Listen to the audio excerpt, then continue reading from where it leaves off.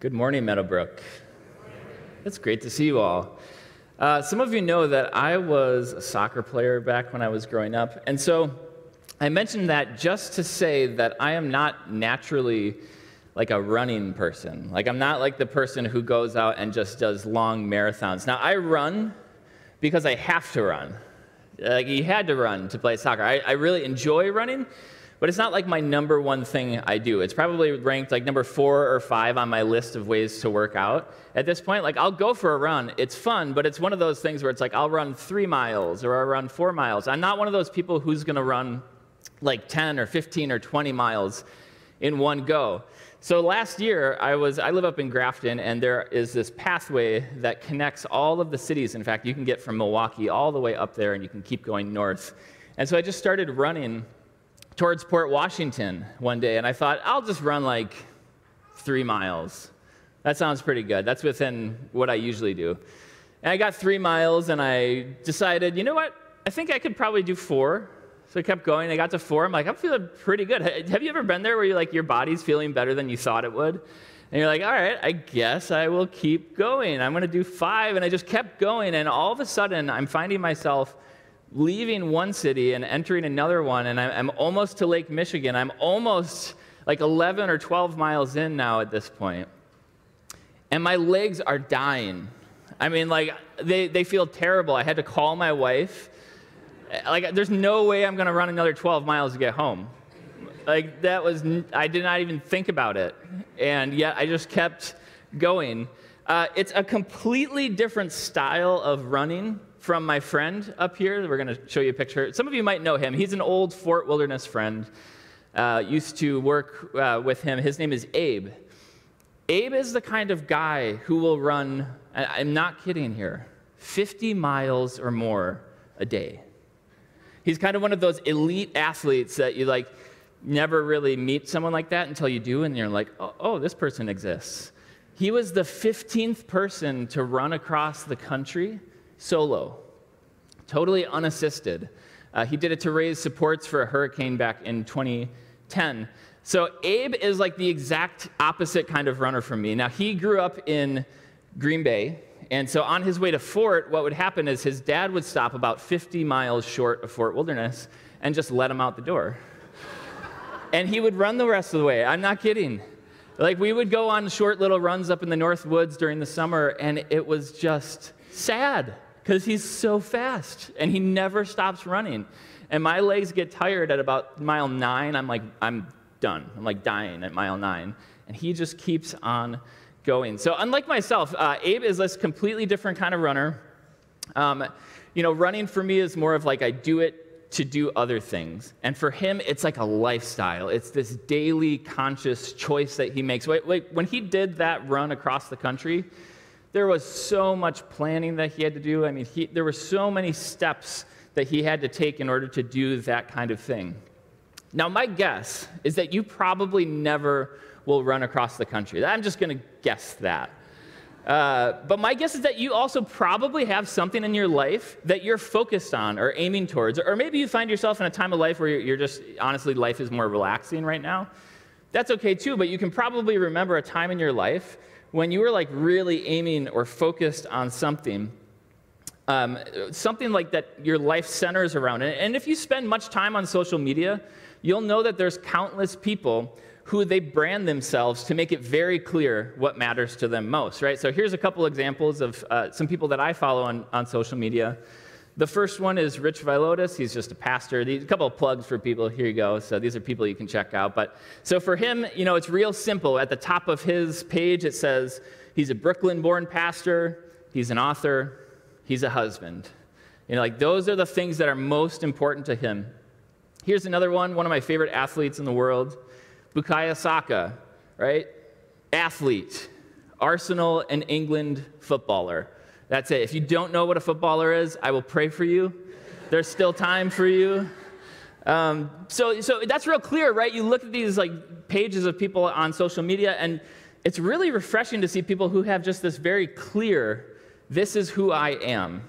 And, and that idea that we have in our world of turning ourselves into a brand, it can actually be kind of helpful in some ways because it can help us focus not on all the things that matter to us, but on the one thing that matters most in our lives above all else.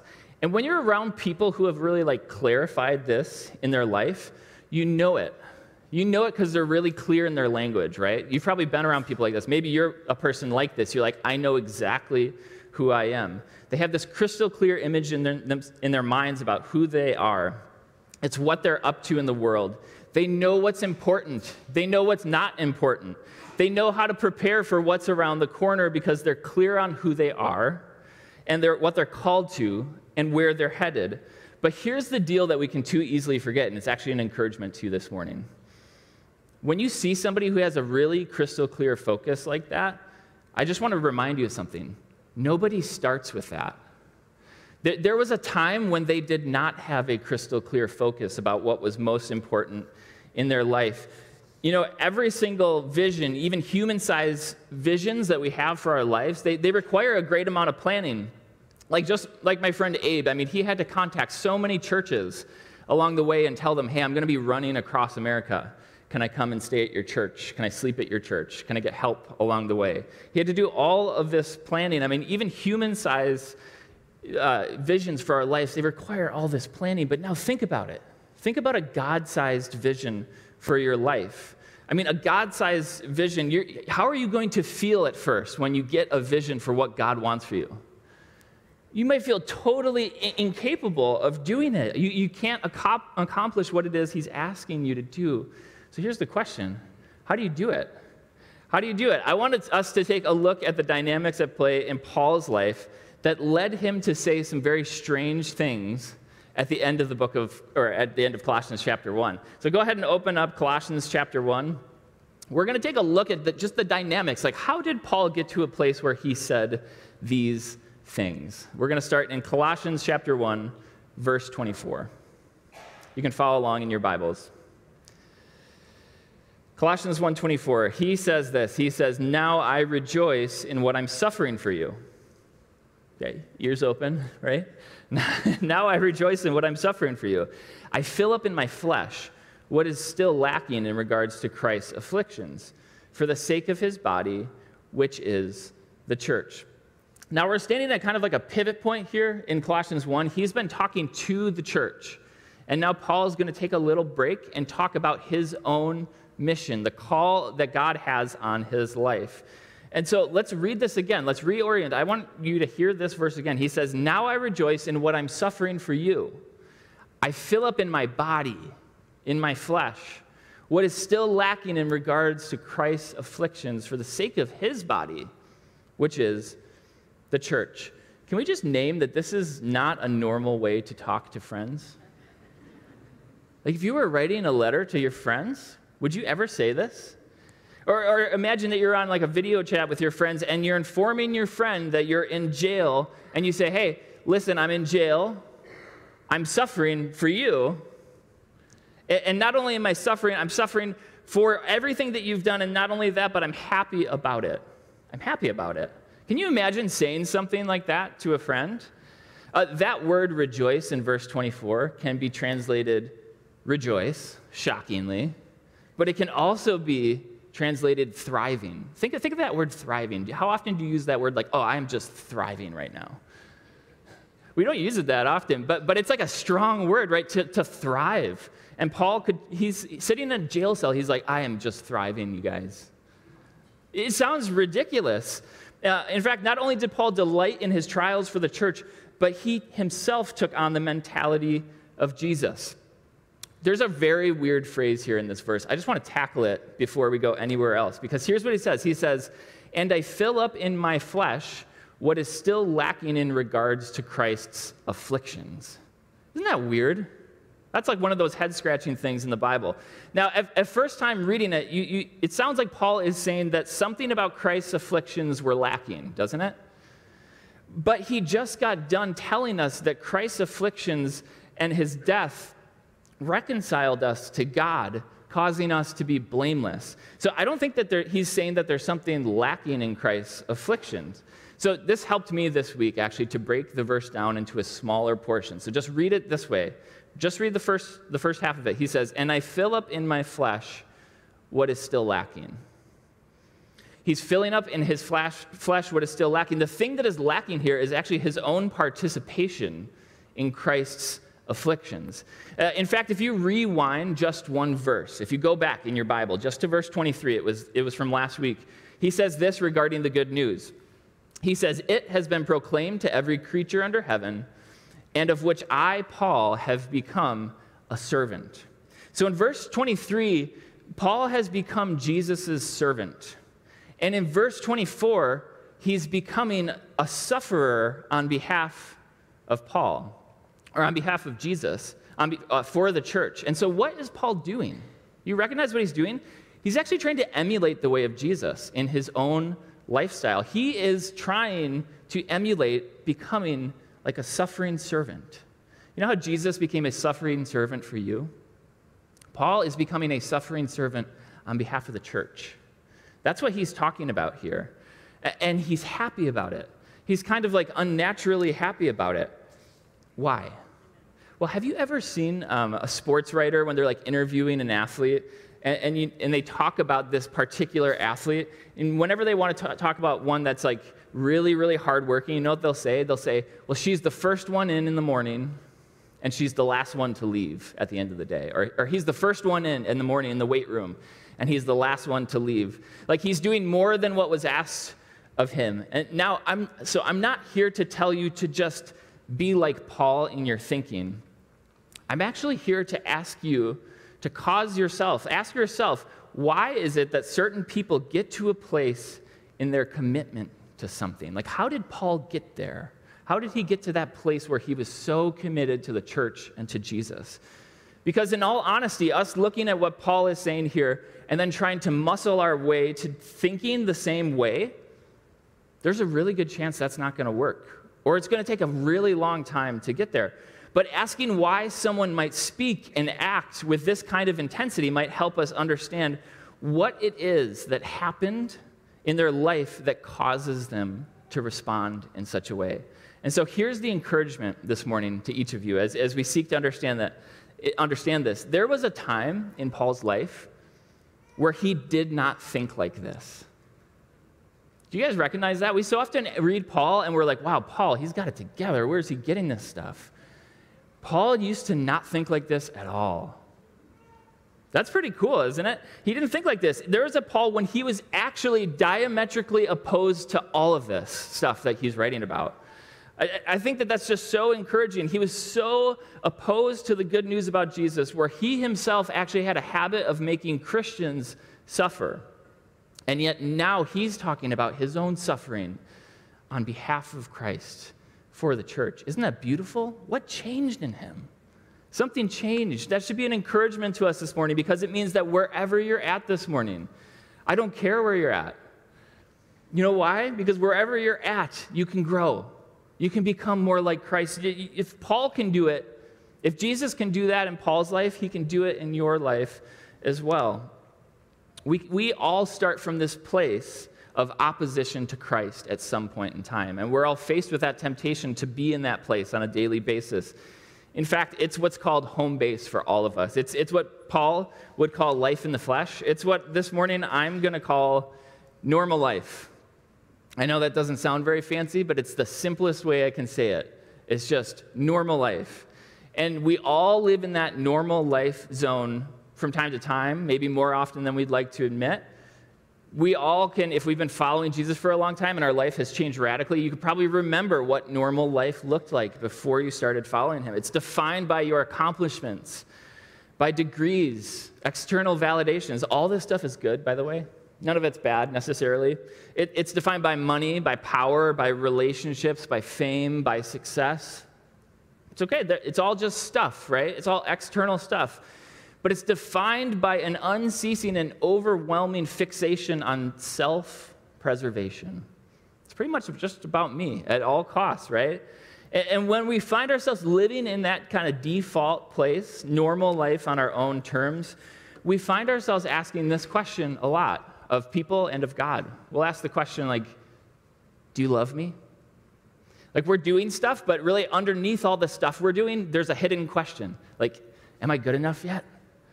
Do you love me? Yeah, and, and, God's response is the same, no matter who we are. He, he just says, I love you. I've always loved you. I, I don't necessarily love the stuff, but I love you. And, and other people's response to us might be something like, I'll love you if it benefits me. Because they're playing the same game. They're, they're seeking love, they're seeking affirm, affirmation through their actions as well, right?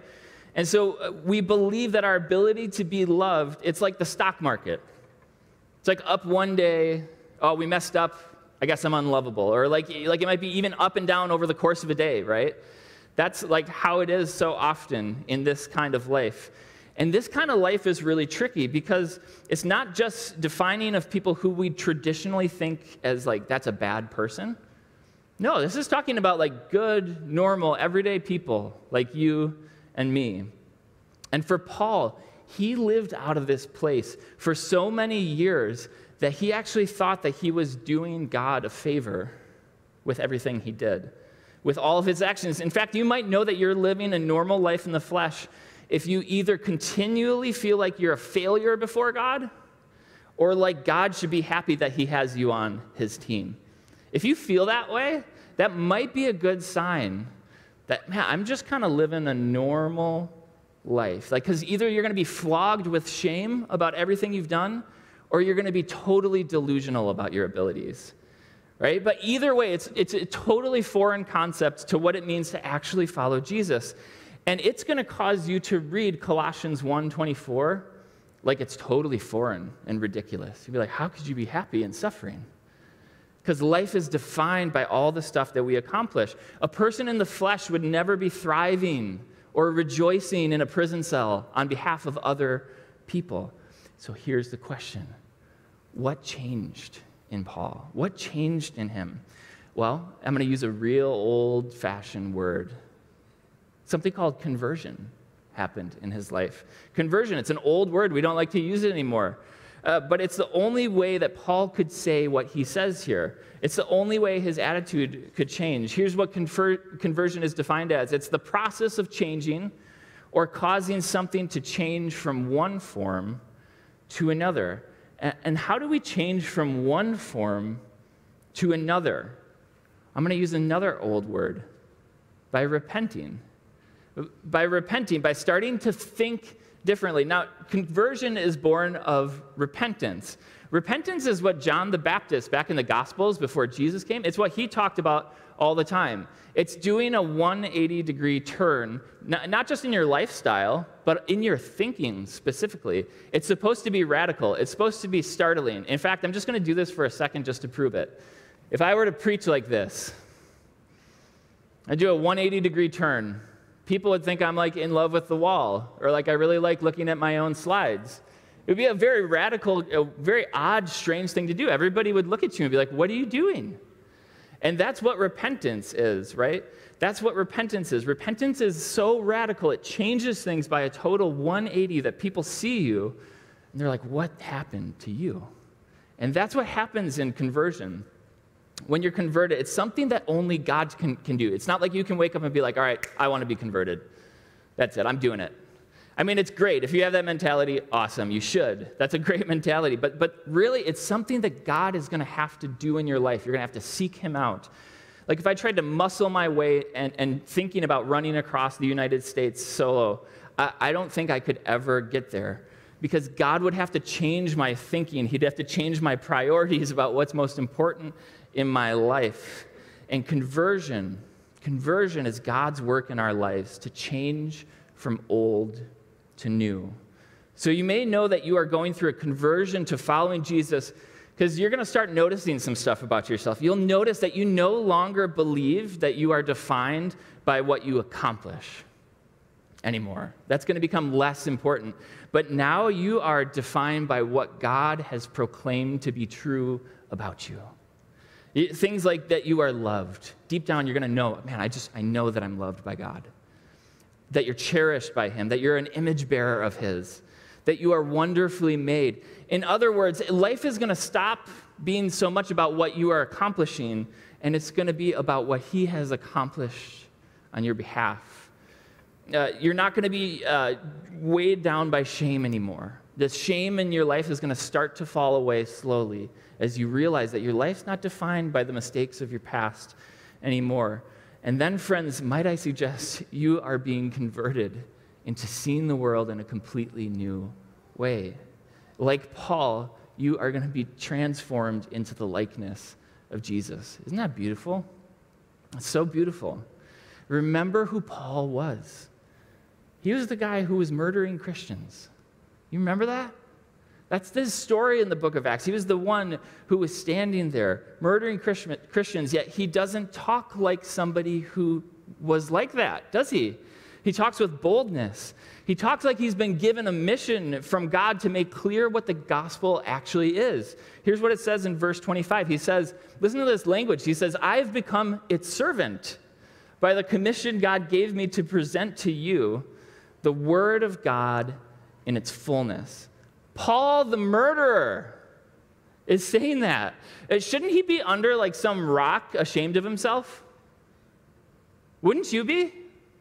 I think I would be really tempted to never show my face again. I mean, you think about Moses in the Old Testament, that's what he did.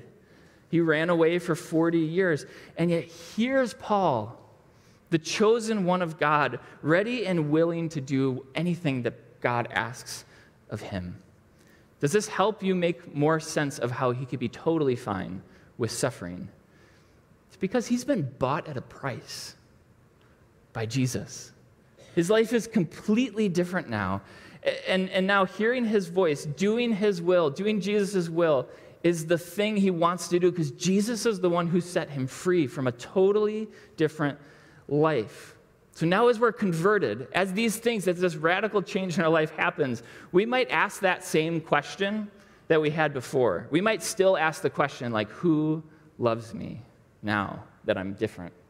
And God's response would be the exact same. He'd say, I've always loved you. I've always loved you, and I love that you can finally start to see that I've always loved you. And simultaneously, we might hear from others like a response that's like, Who are you? Like, you've changed. Some of us in this room, we have that story. I've talked to enough of you where it's like when I started following Jesus, people started being like, What changed about you? Something changed about you. We see this happening with Paul. All of the people he spent time with, his whole life circle, it, it was built around this persona that he had made that was totally divorced from God. I mean, it looked godly on the outside, but it was actually just a facade and so, as a result of his conversion, he became friendless for a time. Became friendless. I mean, his old friends no longer wanted to be with him. And the Christians, well, he had just been killing the Christians. They didn't want anything to do with him. And so, this guy, Paul, all of a sudden, something radical has changed about him, but all of a sudden, he's in this lonely place where God has changed me. And yet, it's kind of lonely. And friends, if you find that you are in a season of conversion where God is complete, completely turning something in your life upside down, causing you to see who He is in a different way, and if you're finding that to be a very lonely process, here's what I want to say to you don't give up. Don't give up in that moment. God might be doing something huge in your life at this very moment. And, and honestly, you might be feeling like you're completely disoriented but it's exactly where you might need to just sit for a period of time. And I think this is because we become so accustomed to receiving affirmation from our old way of life, don't we? With so many years of getting affirmation for all of the stuff that I do, from all of the people around me, that God oftentimes simply just needs to remove us from those old spaces and those old places and those old situations so that, so that we can be rewired so that we can learn to trust His voice, so that we can do something new for Him. And I want you to hear what Paul says next. Here's what he says in verses 26 and 27. He says, This is just crazy stuff. He says, The mystery, the mystery that has been kept hidden for ages and generations, but is now disclosed to the Lord's people. To them, God has chosen to make known among the Gentiles the glorious riches of this mystery which is Christ in you, the hope of glory. Now, here's my question How did Paul come up with this stuff? How did he come up with this stuff? Because when he talks about the mystery here, he's not talking about something spooky or supernatural. That's like what we think of when we think about a mystery. In Paul's day, this is actually language that they would have used to talk about what we might think of as like the sacred center of his religion. So uh, the philosophers in Colossae in his day, they would literally use this same terminology to reinforce secret knowledge that you could get if you kept going up these spiritual levels to get closer and closer to divine knowledge. And for Paul, it was completely different. It didn't have to do with these secret spiritual things, it had to do with Jesus Christ, crucified and resurrected, and his presence in you.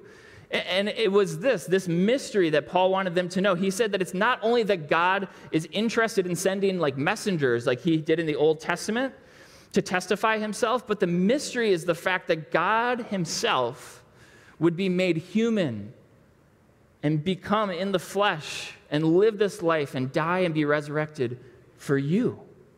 For you. And not only that, it's not only for like spiritual insiders. It's not for people who have been like following him for a really long time. It's not just for an ethnic group. It's for everyone, Paul says. It's for you. You think it's for someone else, but it's not just for them, it's for you. And not only is it for you and for everyone sitting next to you, for the person on the street or down the block, for the person around the world, here is the mystery of what Paul is pointing to this sacred center that he wants people to grab onto. What is it all about? It's Christ in you. He's in you, and not just you as an individual. Look around. It's always about us, the community. It's in all of you. It's in us. Christ is in us corporately. You remember a couple weeks ago, Christ holds it all together? He's the one who fills everything up as well.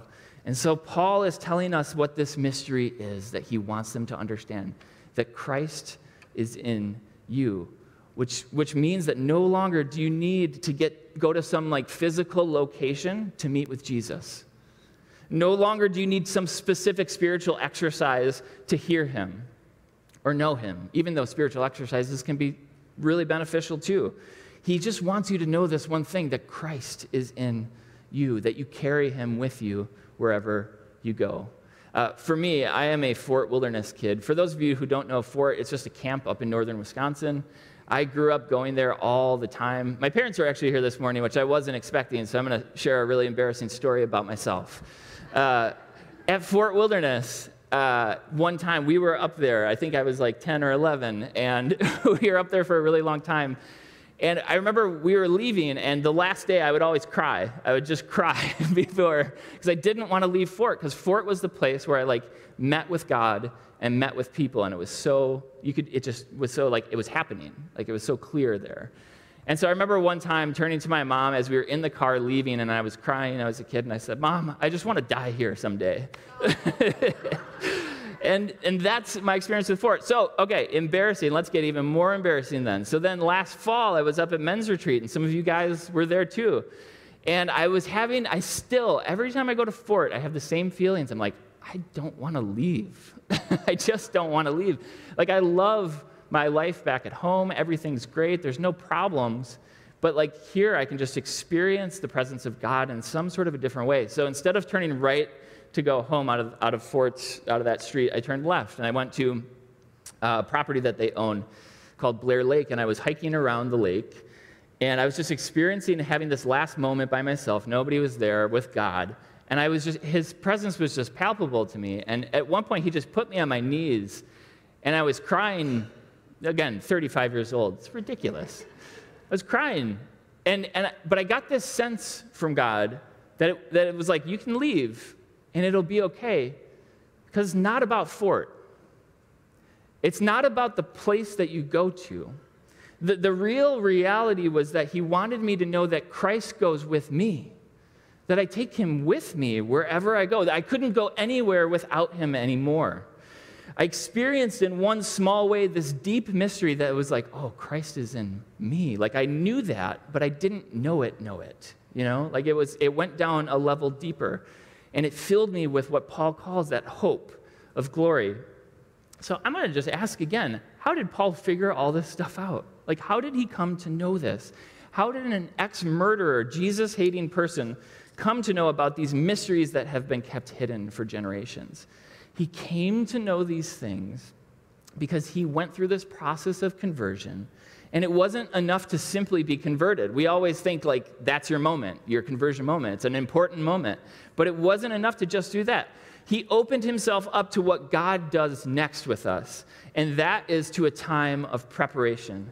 And you know, most of us think that Paul just woke up and had all of this great information that he was going to write down in letters for us so that we could, could read. But the real reality, you can read about this in the book of Galatians, is that Paul spent three years in the desert alone after this happened. He spent three years in Arabia.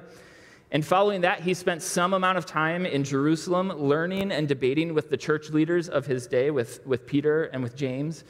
Uh, and perhaps he went elsewhere. He grew in his knowledge. He was already really smart, but he grew in relationship with Jesus and with the church. And some scholars think that it might have taken him up to a decade of preparation time after his conversion, before he began spreading the news about Jesus in his travels.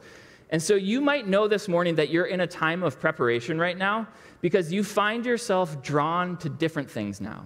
You find yourself drawn to prayer you might find yourself drawn to listening more than talking.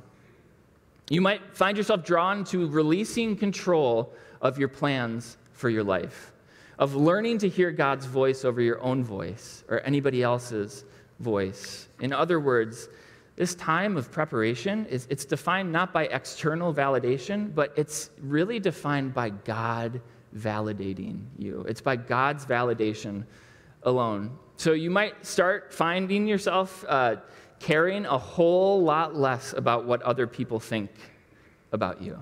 You find that you're just not being validated in that way anymore.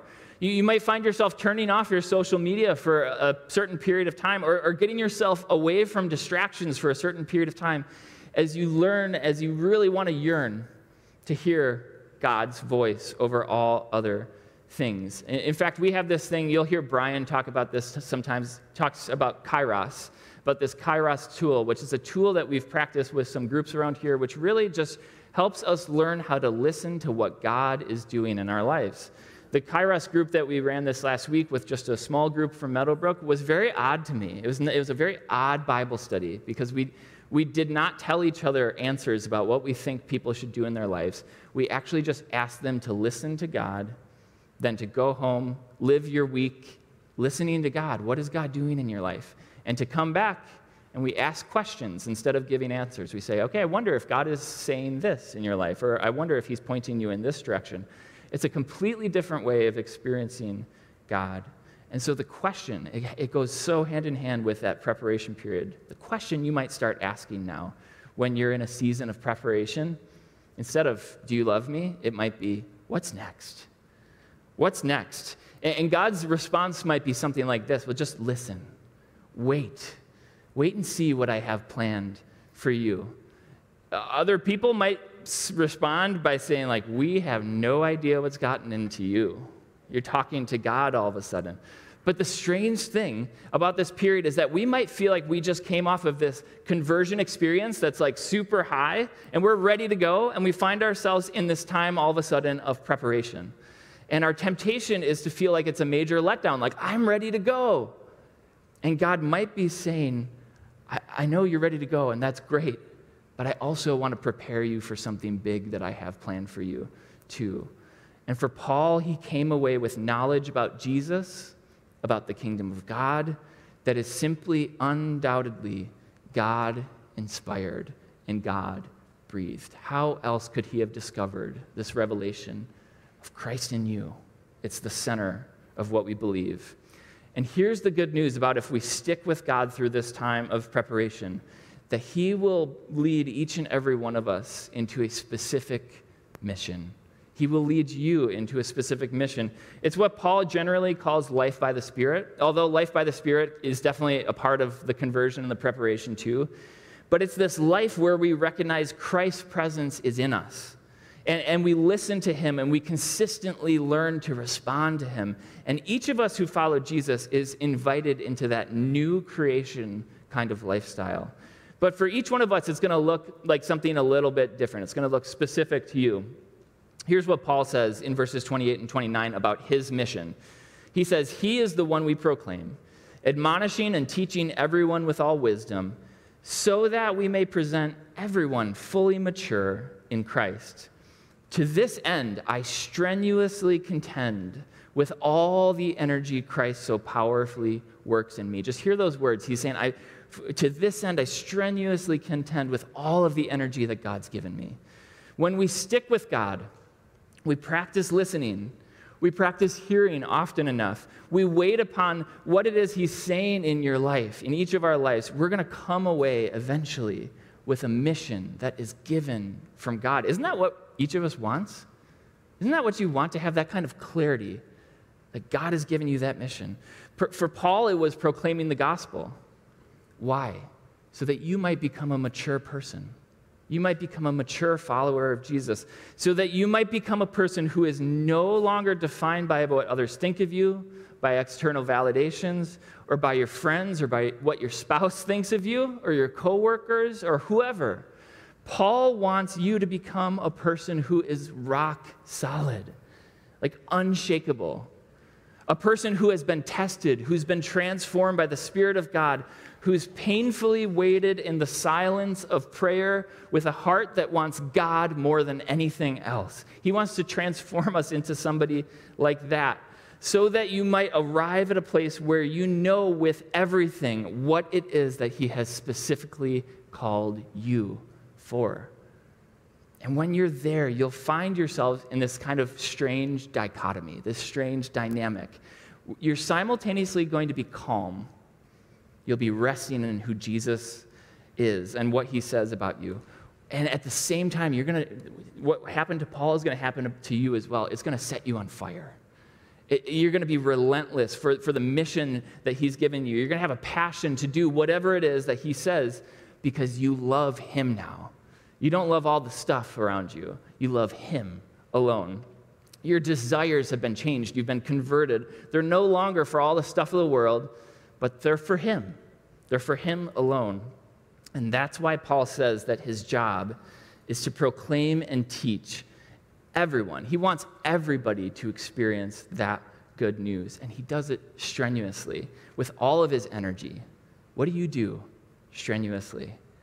You know, so you think you might think you've arrived at this place of mission because you start to ask a different question. You ask this question of how can I be as faithful as possible to the call of God in my life? If you're asking that question a lot, it's a pretty good sign that you are in a place where you feel like you are on mission. Like, okay, God, I know what you've called me to. Now, how can I be as faithful as possible? And God's response will be just stay connected to me. Stay connected to me, and I'll show you. And other people, they might say, We don't even know what you're talking about. I'm sorry. This is so far off the map. So we can see this process at work in Paul's life with this movement from normal life to conversion, time of preparation, and then a mission or life by the Spirit. So here's the question this morning Where do you find yourself? When you look at that, where, where do you find yourself? I mean, are you maturing? Are you changing? What does the story of your life, the past several years, say about what's going on inside of you? Like, do you look more like Jesus today than you did a year ago? Uh, like, have you learned to hear his voice more? Are you intentional with him? And, and if not, why not? What, what would be more important than that? Jesus says there's nothing more important than your soul. That word soul just means your very core inner self, who you really are. He says there's nothing more important than that, than your life with God. So, how does it look? Because here's the reality when I look at each of you, I have no idea. I can't know what's going on inside of you. Even when you look at me up here, you, you, you don't know, right? You don't really know what's going on inside of us because sometimes we look great on the outside, but we're wasting away on the inside. And so here's my encouragement today as we end. Maybe this is a moment of reflection for you during this last song and during this time of prayer. But I would say, like, do it more properly. Take some time this afternoon and just do a self inventory. Like, where am I in this process of following Jesus? And I just want you to know that here at Meadowbrook, wherever you are on this process, it's simply the truth about you, and it's totally great that that's exactly where you are. If you find yourself not even on the map, just doing normal life, it's not even registering what I'm talking about this morning. You want to know something? You are more than welcome here to come and find out who Jesus is and to come and follow us. And that's the invitation for you this morning is to follow him. Because being like Jesus means that everything in your life will change. But it is the best kind of change. It's the kind of change that you deeply, deeply want. So let's pray about that. Would you pray with me?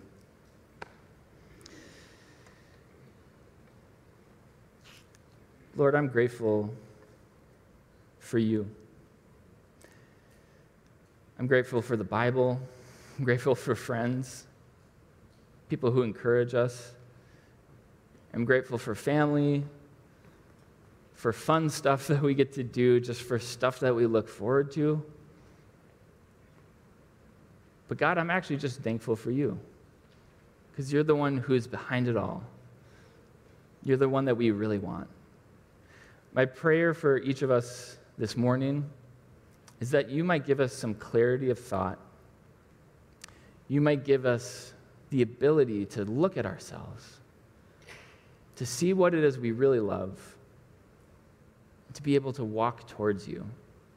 My prayer is that wherever we find ourselves this morning, Lord, that we would be taking the next step towards you. I'm praying for every single person here this morning that says, Yeah, this is great, but I have no idea what to do next. God, I pray that you would just minister to them right now. You'd give us a clear idea of just this is the next thing to do. We love you so much, Lord. We know your Spirit's at work within us, and we invite that work. We pray all of these things in the name of Jesus. Amen.